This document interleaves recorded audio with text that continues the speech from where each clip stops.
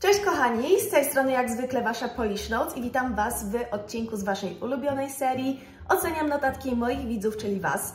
Jest to bodajże już czwarty odcinek, a notatek nie brakuje, cały czas przysyłacie mi nowe. Jedna wielka prośba, bardzo Was proszę, żeby były one dobrej jakości, bo potem ciężko Wam zobaczyć te notatki tutaj na odcinku, są one niewyraźne, nieczytelne, a o to chodzi, żebyśmy wszyscy widzieli o co w nich chodzi, co jest super, co jest do poprawienia i tak dalej. Tak czy siak nie mogę się już doczekać, żeby ocenić Wasze notatki. W tym odcinku będzie ich nieco więcej, tak więc jestem jeszcze bardziej podekscytowana. Mam nadzieję, że Wy też. Jeśli nie chce Wam się robić notatek, to oczywiście przekierowuję Was do mojego sklepu polishnotes.pl, gdzie możecie kupić moje notatki z biologii, z chemii, za niedługo też będą notatki z niemieckiego, ale również możecie kupić moją własną czcionkę, którą możecie sobie potem zainstalować na Waszych komputerach lub iPadach i używać jej jak takiej klasycznej, normalnej czcionki. Także gorąco Was zachęcam do odwiedzenia mojego małego sklepu a ja przechodzę do pierwszych notatek. Pierwsze notatki, które dzisiaj omówimy, należą do użytkowniczki o nazwie Nastka Klepacki. Gorąco Cię pozdrawiam i bardzo Ci dziękuję za przesłane notatki. Notatki, które zostały przesłane, to są takie klasyczne notatki lekcyjne, z tego co rozumiem, robione na bieżąco, kiedy mamy mniej czasu i trzeba czasami przejść na takie kompromisy, no bo wiadomo, nie mamy ogromnej ilości y, czasu czy przestrzeni, żeby zrobić ładniejsze nagłówki, czy zrobić jakiś ładniejszy obrazek i tak dalej, i tak dalej. Mimo wszystko tutaj jest naprawdę bardzo ładnie, bardzo schludnie. Podoba mi się oczywiście ta tęcza koloru, którą mamy w zależności od danego tematu. Jest to taki klasyk, który ja sobie bardzo cenię i y, bardzo chwalę. Co ja mogę tutaj powiedzieć, to to, że na pewno pismo jest bardzo ładne i że widać, że staramy się, żeby te notatki były bardzo ładne. Mamy odpowiednie y, zagadnienia oddzielone zakreślaczem. Dodatkowo mamy napisane, czego możemy się w każdej sekcji spodziewać. I w tym przypadku nie mamy do czynienia z żadną kaligrafią ani nic, tylko po prostu ze zwykłym klasycznym tekstem. Jest to jak najbardziej fajne. Jednocześnie, co ja bym zrobiła, to może pisała to z dużych liter, żeby jeszcze bardziej oddzielić sekcję od zawartości, czyli od tego tekstu, który mamy na dole. Co jeszcze bym zrobiła, to na pewno bardziej bym zadbała o te wszystkie przerwy, które są, bo widać, że staramy się te odstępy tutaj zachowywać i jednocześnie, kiedy przychodzi do zrobienia jakiejś ramki z boku, czy czegoś w tym stylu, to tutaj nagle się robi nam bardzo, bardzo ciasno i czujemy taką małą klaustrofobię, przynajmniej ja ją czuję, ale u mnie ja już mam po prostu fizie na punkcie notatek. Już prowadzę ten kanał od 7 lat i tyle notatek widziałam, że to są takie rzeczy, które y, przypływają moje oko po prostu. Mimo to, tak jak mówię, notatka jest bardzo ładna, bardzo schludna. Widzę tutaj, że w przypadku notatek z biologii próbujemy już się bardziej bawić e, kaligrafią co się bardzo chwali. Przy czym ja bym tutaj zwróciła uwagę na rozmieszczenie tych liter, żeby raz nie były za wąsko, a raz za szeroko i żeby były podobnej grubości, czyli jeśli robimy na przykład jakiś grubszy brzuszek B, to żeby on faktycznie był tej samej grubości, co brzuszek powiedzmy litery A. Bo jeśli zaczynamy się bawić różnymi grubościami, wiadomo, staramy się, żeby upstrokes były cienkie, a downstrokes były grube, no to tutaj czasami nam się powinie pędzelek, powinie nam się mazaczek i zaczyna to wyglądać nie do końca dobrze. Ale to jest taka kwestia, e, którą można sobie potem y, dopracowywać, polepszać. Także jesteś naprawdę na bardzo dobrej drodze, żeby mieć jeszcze piękniejsze notatki. One już są piękne oczywiście i naprawdę bardzo Ci dziękuję, że je do mnie wysłałaś ale oczywiście jest zawsze miejsce na poprawę niektórych rzeczy. Zwróciłabym jeszcze dodatkowo uwagę na punktację, bo tutaj widziałam, że w przypadku charakterystyki pewnej postaci zaczynasz ją opisywać i stosujesz te same kropeczki, którą użyłaś w ogóle na początku, kiedy tą postać przedstawiałaś, a jednocześnie inne postacie już tych kropeczek nie mają. Zaraz tutaj oczywiście pokażę o co mi chodzi. I to są takie rzeczy, kiedy nasz umysł podczas nauki mówi, kurde, coś tu nie gra, nie? I potrzebujemy więcej czasu i więcej skupienia, żeby się skapnąć, aha, czyli to są nadal cechy, a to jest imię tej postaci. Mam nadzieję, że wiecie o co mi chodzi. No i na koniec jeszcze powiem, że szanuję każdego, kto używa linijki. Linijka to jest po prostu skarb pięknych notatek, to jest taki must have. I tutaj widać, jak mamy notatki z fizyki, że wszystkie rysunki dotyczące siły wypadkowe zostały zrobione linijką. Czasami to robi taką ogromną różnicę, że nie macie absolutnie pojęcia i za każdym razem jak patrzę, jak rysunek jest zrobiony linijką, to przypominają mi się wszyscy moi koledzy w liceum, którzy na fizykę nie przynosili linijki i w końcu kończyli z robieniem rysunków dowodem osobistym. Po prostu brali swój dowód osobisty i próbowali rysować od tego brzegu dowodu i różnie im to wychodziło. Bardzo Ci dziękuję jeszcze raz za przesłanie notatek i przechodzimy do kolejnej osoby. Kolejne notatki są autorstwa Pauliny, która studiuje, jak dobrze zrozumiałam, dietetykę i zostały one wykonane na tablecie. Są to notatki cyfrowe. Chciałam, żeby tutaj była różnorodność z tej strony, ale dzięki temu będziecie również mogli zdecydować, czy wolicie notatki takie, wiecie, zrobione ręcznie, czy cyfrowe. Możecie mi również dać znać w komentarzu, które preferujecie. Możemy zrobić team notatki klasyczne i team notatki cyfrowe, bo wiem, że tutaj mam zwolenników po prostu ze wszystkich możliwych y, stron i kategorii. Także możecie mi jak najbardziej dać znać. I te notatki są naprawdę prześliczne, są bardzo ładne, są kolorowe, jestem zachwycona. Naprawdę prezentują się pięknie, pięknie i nadawałyby się nawet y, na sprzedaż moim zdaniem. Tak czy siak, co mi się tutaj podoba, to właśnie to, że te notatki są kolorowe, są bardzo ładnie poukładane i tutaj dokładnie w tej części mamy pismo ręczne, jak dobrze widzę. I jest ono naprawdę bardzo, bardzo ładne. Moje pismo ręczne na moim iPadzie jest absolutnie tragiczne. Z tego względu stworzyłam swoją własną czcionkę, żeby sobie to ułatwić więc myślę, że tutaj naprawdę jest ogromny potencjał, jeśli chodzi o to pismo ręczne. Szczególnie, że reszta notatek została już stworzona e, za pomocą czcionki, która została zrobiona według mojego tutorialu. Bardzo mi zresztą miło. Przy czym nie ma tutaj polskich znaków, co myślę, że podczas nauki mogłoby być troszkę uciążliwe i męczące, kiedy patrzycie i widzicie, że tutaj zamiast ły macie E, zamiast e, o, macie A i tak dalej, i tak dalej, to po jakimś czasie myślę, że czułabym frustrację, więc tutaj albo bym w wolnej chwili, na przykład w przerwie, dorobiła ogonki, dorobiła kropeczki i tak dalej, albo jednak y, wiem, że kaligrafer nie jest aż tak strasznie drogi, więc wykupić sobie subskrypcję na raz, a dobrze, stworzyć sobie taką czcionkę idealną ze wszystkimi możliwymi znakami, włącznie z polskimi i po prostu już tej czcionki używać a jeśli nie chcecie, to możecie kupić taką w moim sklepie. A to już w ogóle ma wszystkie, wszystkie znaki. E, wracając, przepiękna notatka, bardzo ładnie poukładana. Jeśli mam takie piękne, piękne pismo ręczne podczas pisania na tablecie, to bym się go jak najbardziej trzymała.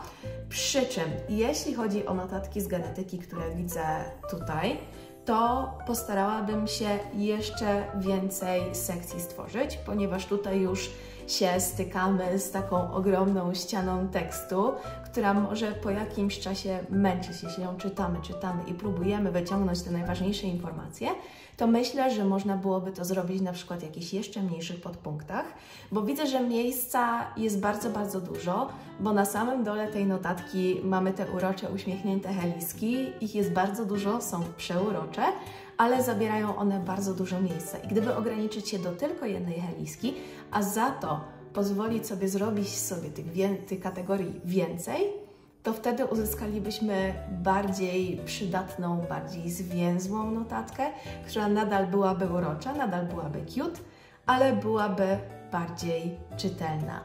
Jednocześnie, co muszę pochwalić, to obliczenia. Te obliczenia dotyczą jakiegoś innego przedmiotu stricte dietetycznego, ale możecie wziąć te notatki jako przykład.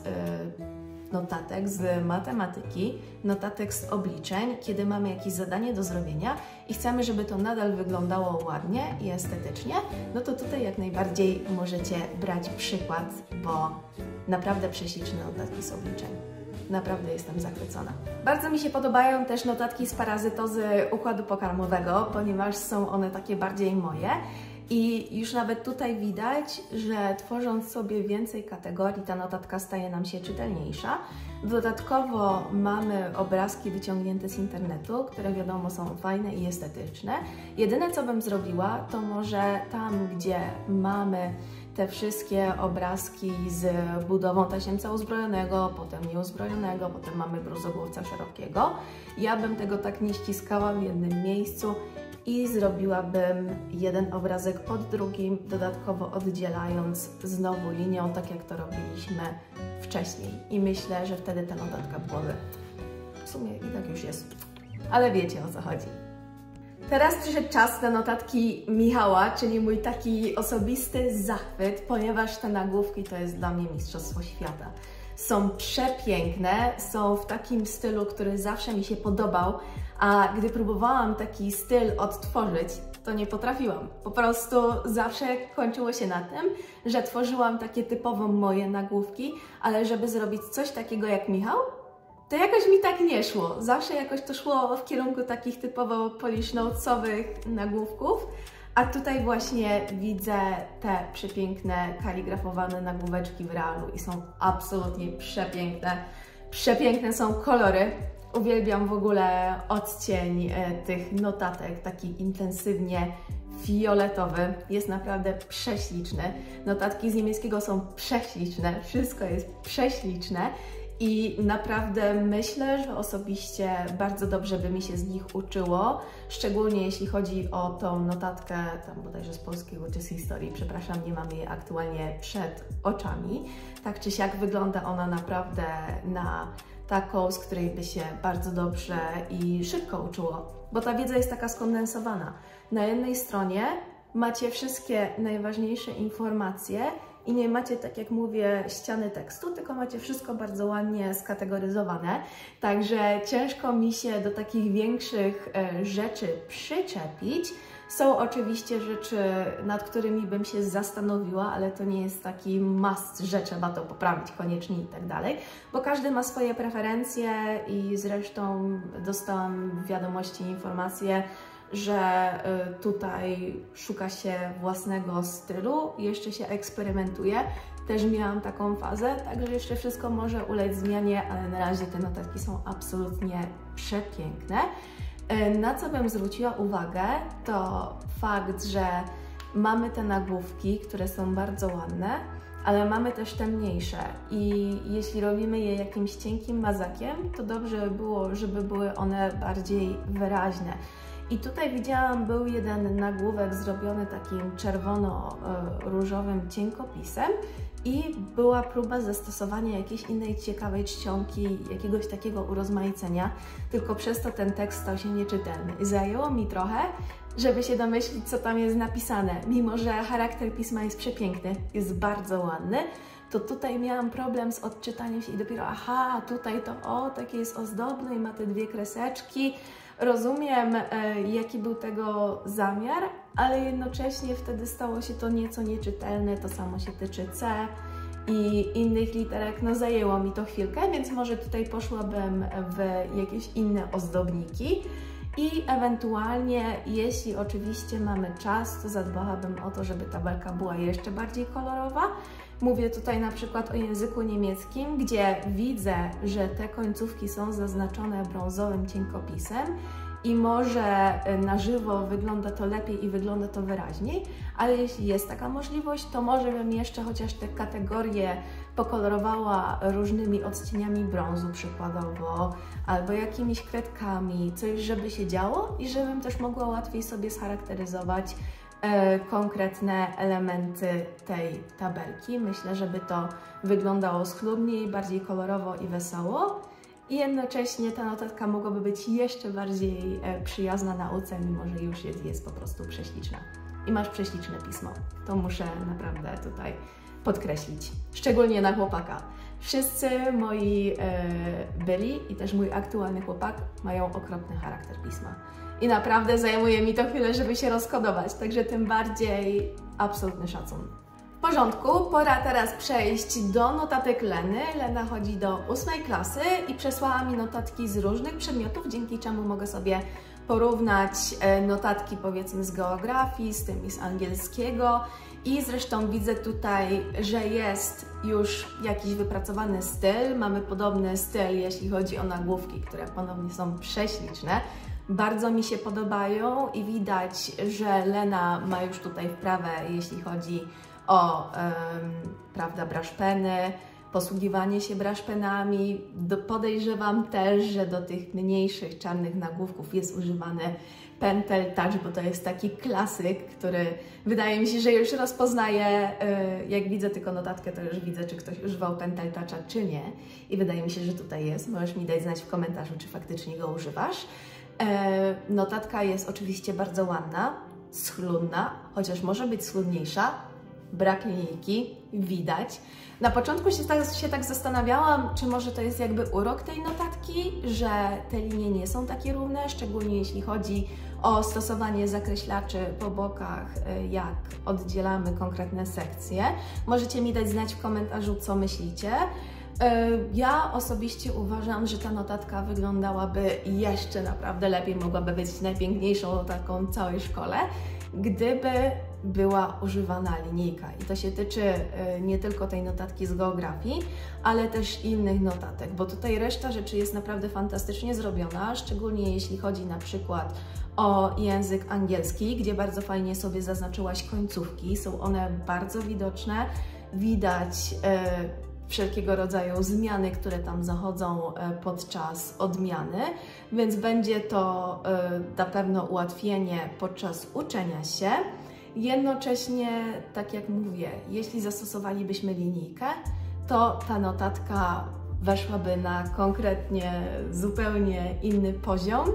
I myślę, że to jest taka tutaj najważniejsza rada z mojej strony, bo reszta wygląda naprawdę, naprawdę super i ciężko mi się do czegokolwiek przyczepić. Ewentualnie jeszcze jedna rzecz, jeśli chodzi o charakter pisma, który jest bardzo ciekawy, jest on nietuzinkowy, ale jednocześnie widzę, że niektóre literki robisz mniejsze, a innym razem robisz je większe.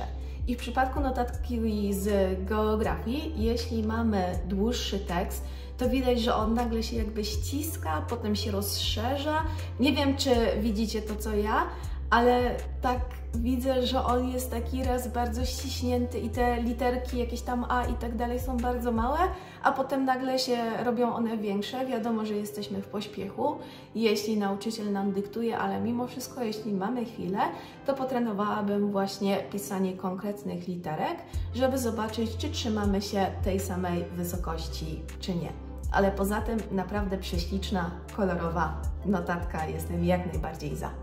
Przedostatnie już notatki należą do Julii. Bardzo Ci dziękuję, że mi je przesłałaś. Przesłałaś mi notatki zarówno z biologii, jak i semi. Podejrzewam, że mam tutaj do czynienia z klasycznym biolchemem. Na biolchemie się robi bardzo dużo notatek, więc tym bardziej dobrze jest usystematyzować je sobie, żeby potem jak najłatwiej było się z nich uczyć, szczególnie potem do matury.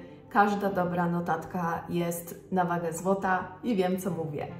I teraz tak, ogólnie widzę, że starasz się, żeby były dobrze usystematyzowane, także tutaj nie mam się naprawdę do czego przyczepić. I widzę, że jeśli robisz notatki nie w zeszycie, ale za to na kartce, to już tworzysz naprawdę bardzo ładne nagłówki i to jest bardzo fajny sposób, który mogę każdemu polecić.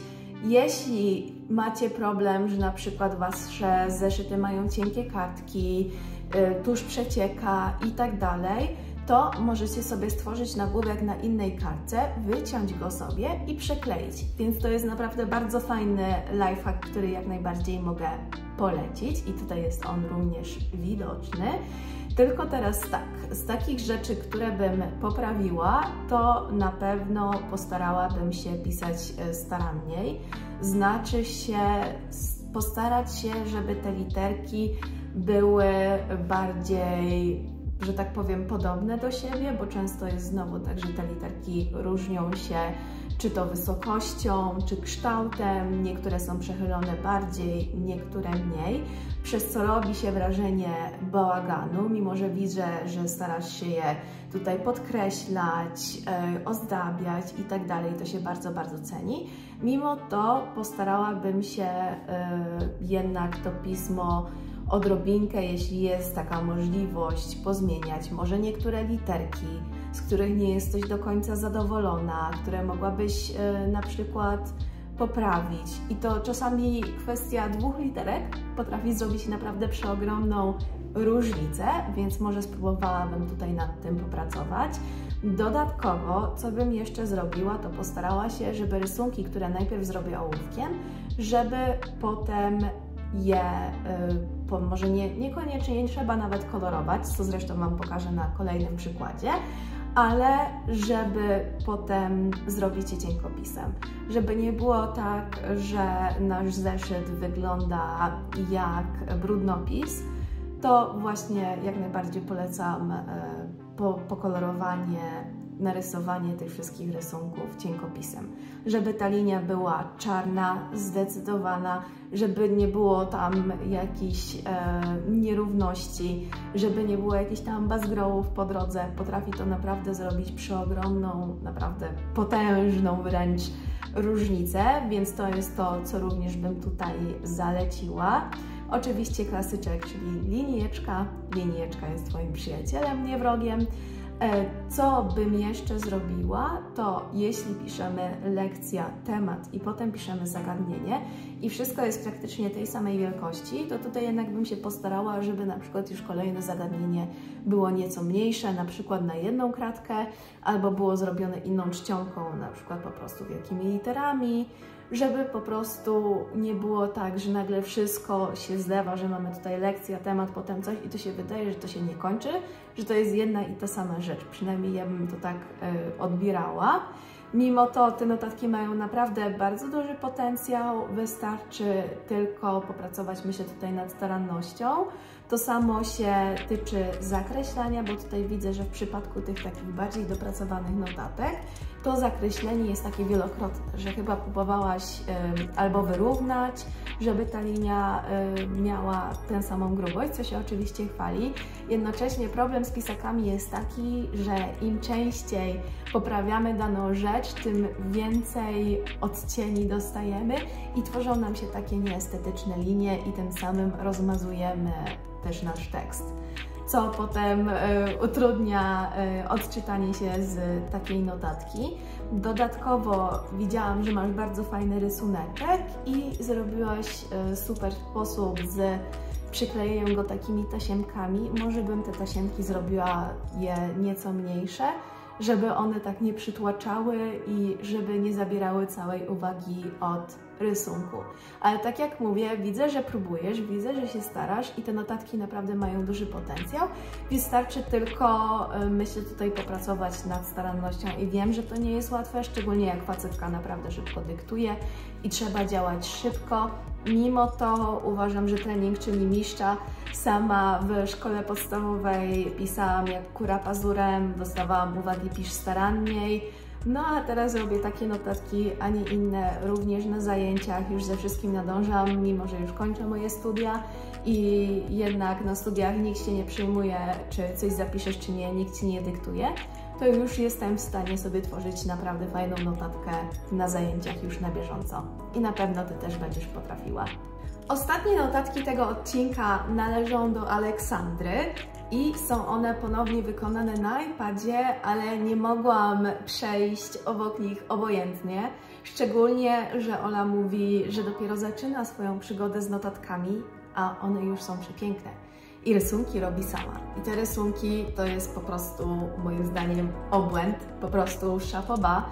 Są absolutnie przepiękne, można byłoby z nich tworzyć kolorowanki dla biolchemów. Przepiękne te kopyta, przepiękny ten kręgosłup, naprawdę jestem absolutnie zachwycona, bo widać, że te rysunki tworzysz z naprawdę niesamowitą starannością i sama bym chętnie takie rysunki wykorzystywała do swoich notatek i nauka z takich rysunków. to jest definitywnie sama przyjemność. Widziałam, że przy, no, przy rysunku ze swojej skóry podpisywałaś e, konkretne elementy, i zastanawiałam się właśnie, czy jest Ci wygodnie, jeśli masz aż tyle linii po jednej stronie, żeby sobie to wszystko podpisać. Czy nie byłoby Ci łatwiej na przykład zrobić to w punktach i zaznaczyć e, małymi kółeczkami Y, prawda, cyferkę 1, 2, 3, 4 i sobie to po prostu podpisać z boku, bo jeśli y, mamy oczywiście piękny kolor różowego, jeśli mamy ten jasny różowy, to obawiam się, że on się może zlewać, jeśli zrobimy tam ileś tam linii, które prowadzą do elementów, które są blisko siebie, to potem trzeba, y, wiecie, troszkę się tak przybliżyć, popatrzeć, czy to na pewno jest tutaj, wiecie, przejechać palcem. Może to jest tylko takie moje wrażenie, może y, nie ma potrzeby poprawiania tego i jest to dla Ciebie wygodne, ale to była taka rzecz, na którą zwróciłam uwagę. Y, co jeszcze bym poprawiła, to to, że w niektórych miejscach masz ponownie ścianę tekstu i widzę, że w tym tekście mogłabyś jak najbardziej sobie wypunktować konkretne rzeczy, zrobić sobie przerwę pomiędzy każdym, y, każdym tutaj zagadnieniem, każdą powiedzmy definicją. I myślę, że wtedy byłoby łatwiej się uczyć, bo widzę, że już dużo e, energii włożyłaś w to, żeby to wyglądało pięknie i estetycznie. I to wygląda pięknie i estetycznie. Jest przepiękny charakter pisma. Mamy najważniejsze rzeczy zakreślone e, innym kolorem, napisane innym kolorem. I myślę, że jakbyś to jeszcze podzieliła sobie na mniejsze punkty, to ta notatka już by po prostu była absolutnie idealna, już by nic nie trzeba było w niej poprawiać, bo ona jest przepiękna i mając na względzie fakt, że dopiero zaczynasz, to jest dla mnie niesamowite wow, bo są naprawdę prześliczne te notatki i widać, że wiesz co robisz, że chcesz sobie zaznaczyć to, co najważniejsze i naprawdę to wygląda ekstra. Rysunki są ekstra. Jedyne co, to bym właśnie popracowała nad tym, żeby jeszcze bardziej sobie oddzielić konkretne e, elementy tekstu, żeby na przykład najpierw piszę o danej tam cesze uzębienia, potem wchodzę jeszcze w szczegóły, potem jeszcze piszę o jakimś tam konkretnym zębie i tak dalej, i tak dalej, żeby to po prostu było oddzielone. Ale czy mam jakieś inne rzeczy, żeby się przyczepić? Myślę, że absolutnie nie. Bardzo Wam dziękuję za oglądanie i za uwagę. Jak najbardziej możecie wybrać notatkę dzisiejszego odcinka. Napiszcie tutaj w komentarzu, która notatka podobała Wam się najbardziej. Jeśli się nie zgadzacie z moją opinią i z moim osądem, również napiszcie mi w komentarzu, bo może na przykład czegoś nie zauważyłam albo opisałam to w zły sposób, a może macie jakieś swoje własne spostrzeżenia. Wszystko możecie mi napisać tam na dole. Jeszcze raz zachęcam Was do odwiedzenia mojego sklepu polishnotes.pl, gdzie wspierając jednocześnie mój kanał, możecie zakupić super planery, możecie zakupić czcionkę, możecie zakupić również szablon do ćwiczenia swojego nowego charakteru pisma. Macie również moje notatki z biologii i chemii i za niedługo będą z niemieckiego. No i mam nadzieję, że ten odcinek Wam się podobał i że zobaczymy się następnym razem. Do zobaczenia i cześć, cześć!